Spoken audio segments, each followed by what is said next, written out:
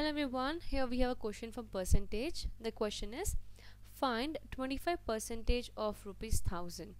Now how to find out the percentage of a given number? This is really important. Like they're very simple question but they're very really important. They can come for one or two marks. Now let's see how to solve it. Now whenever they are asking us to find out a percentage of certain number, how to do it?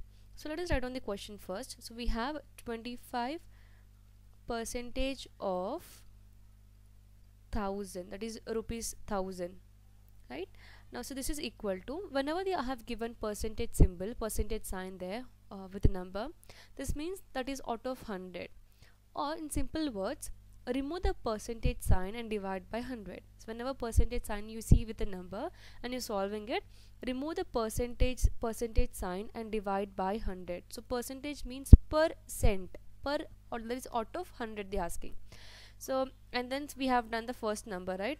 Of means multiplication. In place of of you put multiplication sign and then we have rupees thousand. Now once you have done this it's very simple. You have to just cancel the number bring it to the reduced form. That is that will be your answer.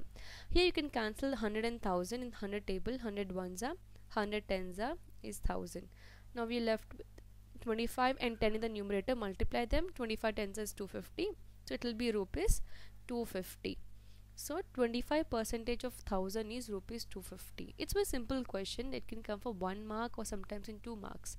So I hope it's clear how to find out the percentage of a given number. In case you have a further question or doubt, you can drop a comment. I'll try to answer it through a video or I'll gonna comment it. Thank you so much for watching.